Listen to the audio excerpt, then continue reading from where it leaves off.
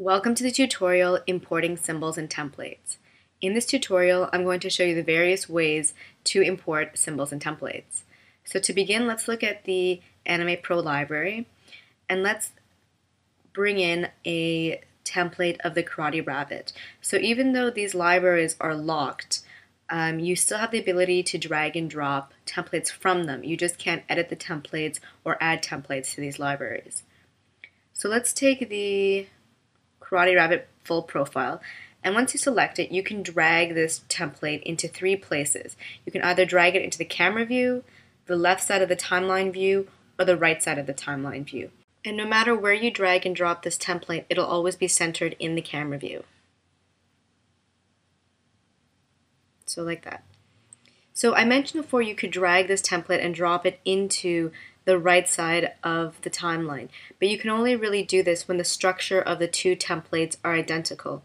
So say for example you have this profile the rabbit and you've done a bunch of animations on it and you've keyframed it.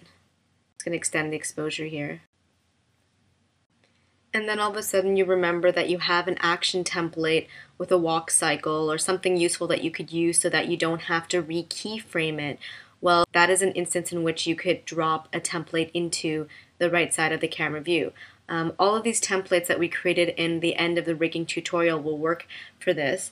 Um, so let's just take, for example, the front head of the rabbit. So this isn't an action template, but it'll still work on the same principles. I'm just going to uncollapse the master peg by taking it from the library view, clicking and dragging it, and then bringing it into the right side of the timeline. And as I scroll down, you'll see that a green circle with a white cross appears. And that's the software letting us know that it's found an identical structure um, where it can drop the template. So the, the template it's about to drop, the place it's about to drop it into have the same structure. So I can release my mouse. You can see that the head has appeared. Um, it's also good to change these keyframes into stop motion keyframes. And then sometimes like a small amount of adjusting has to be done, so maybe something like that. But it's as simple as that. Um, instead of having to go through and individually um, swap all the elements of the head using drawing substitution, so you'd have to do it for everything, I think almost uh, maybe about 15 different parts here. Um, it's much simpler just to drop in a template with everything preset like that. So symbols work a little bit differently than templates, and I'll show you how. I'm just going to delete this layer. So symbols can also be taken from the library and dropped into either the camera view or the left side of the timeline view. However, if you drop them into the camera view, then they don't automatically get centered in the camera view. They are dropped wherever your mouse is. And I'll show you what I mean. So if I take this black hair, which is the bun of a ballerina, and I drop it here in the camera view, you'll see it's off to the side here. But if I dropped it into the left side of the timeline, actually, so you can see them together, I'll drag these over you'll see that it appears here, which makes me believe that the character's head would be here and the rest of her body would follow suit. So when I say center, I mean put in the place where it would match up with all the other body parts um, as you may have built the character. However, this way of dragging and dropping into the camera view can be useful because if your ballerina was created into symbols with all of these at the center of the camera view, then putting them in the left side of the timeline view will have a big jumble in the center. However, if you're able to just drag and drop them, um, you can drop them all scattered and then piece them together um, without having that big mess in the middle. Otherwise, if you did build your character properly and then create the symbols in a way that when you drop them in the left side, the character will be built automatically, it's better to maybe drop them into the left side of the timeline view. So I'm just going to delete these. And we're going to now take a look at the way that templates that contain symbols are able to merge together. So I'm going to go into my library characters ballerina and I'll show you here that I have this character called the ballerina master.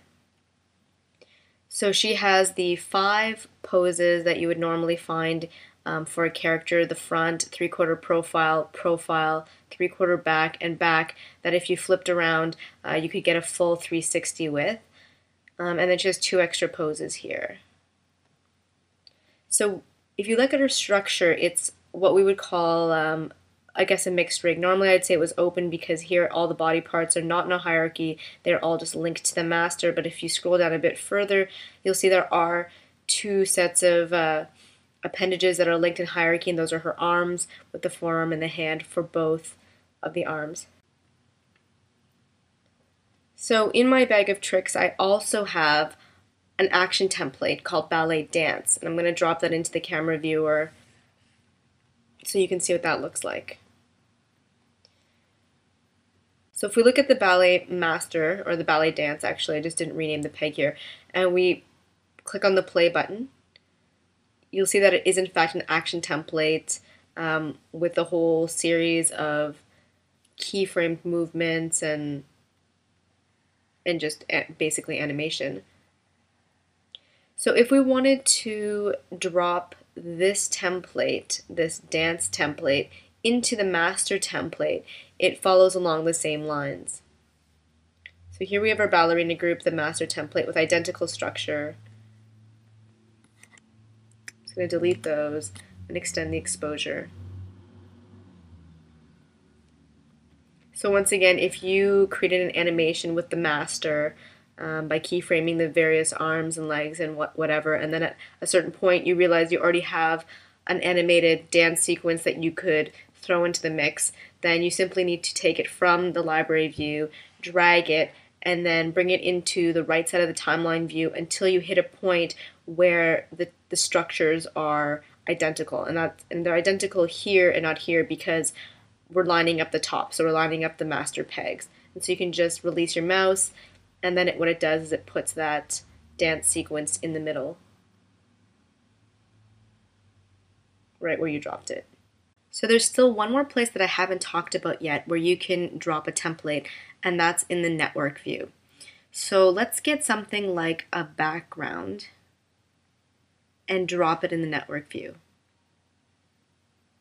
And I'm just going to expand the network view by clicking in the gray area here and then by using the keyboard shortcut either Control or Command F. Once more to make it full screen. Um, so let's bring up the network toolbar. And we might get rid of the advanced animation one we don't need it. There we go. Okay, so we just have these three. So this is our ballerina. It's in a group. We have our composite, and right now we have something that says no name, but it's actually your display. Um, I think it's because it came with the ballerina template and it was not renamed, but it should have been renamed ballerina display. Um, since it's our scenes display right now, I'll just name it display.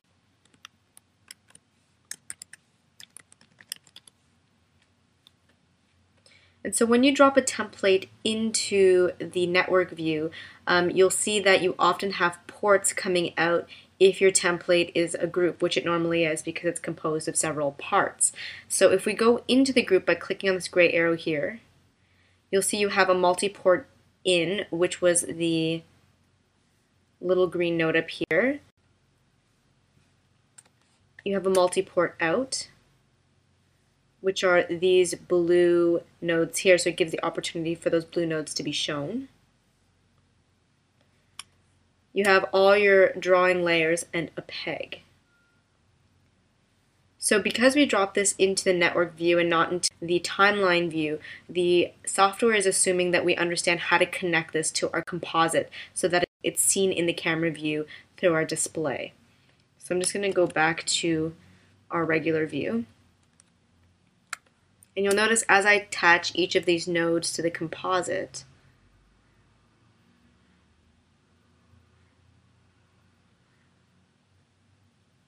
eventually they should show up. Oh, I think I know why. They're probably, probably because, yeah, they are only extended to one frame.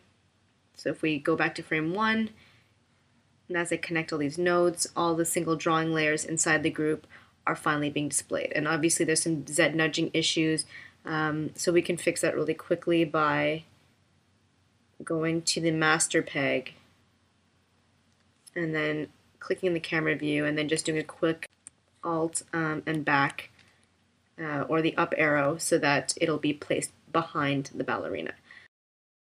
So that's the way that you would put a template into the network view. You can also preview symbols in the network view, and I'll show you how. Let's go into the ballerina where we know there are symbols. And we know all of these actually are symbols, so all of these things that look like drawing elements are actually symbols. And you can go into them um, by selecting them and then either using the keyboard shortcut Command E on Mac or Control E on Windows and that takes you into the symbol. So right now we're in the forearm and we also have a wrist patch as well.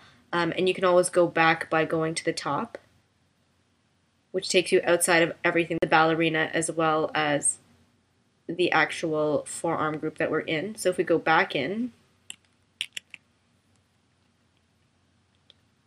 we'll see that there is a composite that's also set to pass through and a display uh, for that individual symbol. And it works very much like the timeline where at the top you can always go back to uh, your home um, or that if they're nested symbols, which I think this might be, let's check. Yeah, so the wrist was. So the wrist was also a symbol. Um, then you can go further into them. So then we have the wrist and you can you can use this to preview what that looks like. So it looks like it's just a little patch. Um, and you have your composite in your display and you can go back up the hierarchy this way, like that. I'm not sure if I've ever showed you that before, but if you click on the gray arrow beside the yellow box, this is the yellow layer properties. This is a little thumbnail of what this drawing module or group looks like, and this is to get into a group. So same thing here and to get into the group. So the next thing I want to show you is how you can open a template as a folder. So as I mentioned before, all of these templates are like little scenes and we've seen this when you edit a template it actually opens up the scene. So if you want to take elements from a template without taking the entire template such as specific drawings or the color palette from that template you simply need to open it as a folder. So let's find something in the Karate Rabbit folder from the Animate Pro library. And let's right click on it and select Open as Folder. And then we just have to click on this gray arrow beside it to uncollapse it to see the various folders that it houses. And these folders or the structure, as you may have noticed, is identical to the folders that you see if you actually open your file uh, the files folder. So that gives you an idea where these might be located. So for example, I already have these palettes in my list of colors.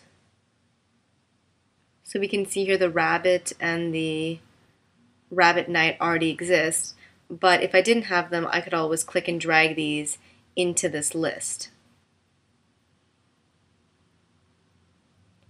Also, if I open up the the elements folder, you can see that there are individual drawings in here. There are individual TVGs in here. And so I can bring these into the scene by creating a drawing layer and then selecting this and copying it and then pasting it here in my timeline. Like that. So I don't need to bring in the entire template, that entire head with the peg and all the various body parts and the palettes and etc. I can really just take simple elements from this one folder.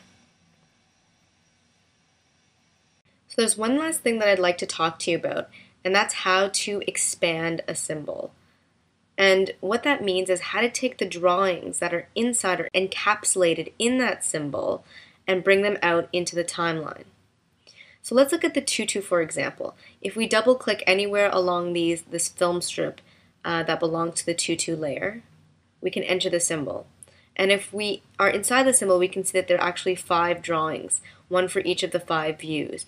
Um, and although in this case look fairly similar, sometimes they're very, very uh, different. So then if we exit the symbol by going back to that top link, and then going back to the tutu layer in the timeline. We just we simply need to click somewhere in this blue strip and then go to the top menu and select edit, expand symbol, or use the shortcut that's listed beside. So now if you've noticed a gray arrow has appeared beside the tutu and if we click on that to uncollapse the tutu, we'll see that its drawings have been copied from inside the symbol and brought outside of the symbol and attached just underneath.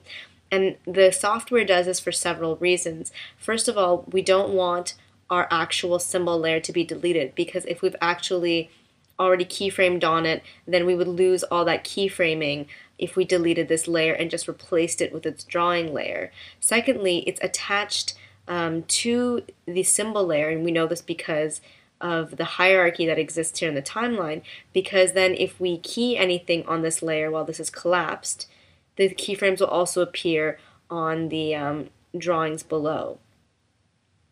So that's it for the tutorial importing symbols and templates.